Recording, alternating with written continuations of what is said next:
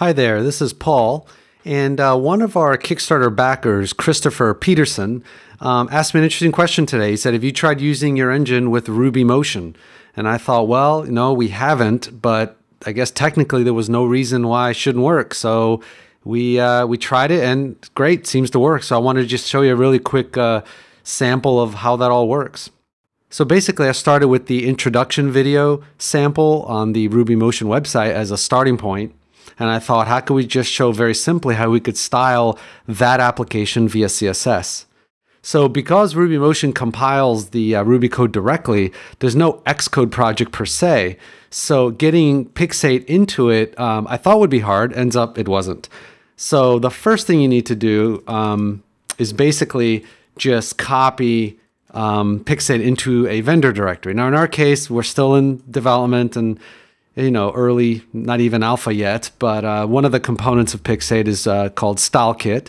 So what I did is I copied our PX StyleKit framework directly into the vendor directory, as you can see here. And then in the rake file, I just added this line. After a little bit of Googling, I found that you could say app.vendorproject, give it the path to the framework, say that it's a static uh, library, give it the product name, and where the headers are located. So I'll just type rake And there you go. So this is the introduction video sample. So again, it's very simple, but I thought, hey, let's try uh, let's try some basic styling using Pixate. So um, again, all I did is I dropped our library into the vendor directory and added the one line to the rake file, and that's it. Now I just add, uh, for now, it's called default.pxss. Essentially, it's a it's CSS for Pixate, and uh, I'll start very simply by uh, let's just uh, let's style the label, for example. So I'll just paste some code so I don't have too many typos. So that's it. I'll just say for label, make the color red. And we'll go back here and do rake. And there you go. Now you can see the label of actually uh, the tap to start and the button have both turned red because uh, button's using a label. And now let's go and uh, let's do something to the button.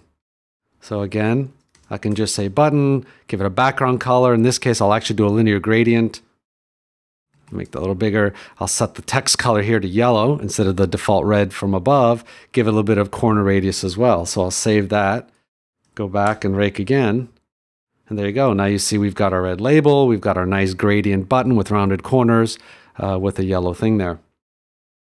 Okay, let's say now we want to change the background color of, of the whole thing. So we'll say view, then we'll say background color, and let's make it kind of not pretty. We'll just say green. And now we'll run again. There you go. The problem is it made all views green. So that's probably not what we wanted. So let's go here. Whoops, let just clear that up. So what does that mean? Well, how do you do that? Well, what's interesting is now, for example, you can go into the code if you like, and you can say, um, no, I want to only style a specific view. Well, how do you do that? It's actually pretty easy you essentially just add an ID to your view. So in this case, we'll say style ID and we'll give it a name. Let's just call it my background. So what I've done is we've added style ID to the default view. Now I can go to my CSS and I'll say not all views, but how just my background. So, whoops. So now when we run the application, you can see what it's done. It's now made the background that I specified green and left everything else alone. And then what's nice is you don't have to use solid colors. You can use uh, gradients as well. So for example, let's say we go from black to white at 45 degrees. And notice at this point, I just have to rerun. Um, there's actually no compiling required. Here in this case, it's just updating the resource. Um, in theory, we could update that resource dynamically even from, from the server side. And one final step just along those lines is let's say we add a second button. Now we'll do that in code, of course. We'll just, let's just do it here. And again, I've already typed that. So there you go, just same thing, another button. And now when we run, now you'll see that not only have two buttons been added, but again, they've both been styled. And you could take the same approach. We could assign an ID to the second button and then style that differently.